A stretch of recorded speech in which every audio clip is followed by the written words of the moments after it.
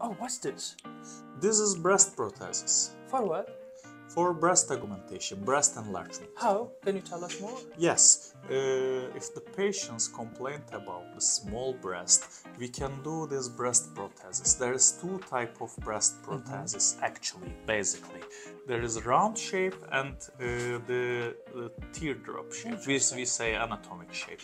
Yes, we cut this we called inframammary fold just under the breast, about three or four centimeters incision, and uh, put it implant uh, the under or over muscle. It depends of the patient's breast tissue. We decide uh, up to the patient's tissue. Nice, interesting. What's made of? Uh, it is made of silicone. It is uh, Mentor brand. We usually use Mentor brand, and it is made of fully silicone. Is it safe? Yes, sure, it is safe. The patients can breastfeeding up after this operation. We will we not we don't harm the uh, breast tissues actually. Thank you so much. You are welcome. Thank you everybody and welcome at Dr. Ali Jan Günay.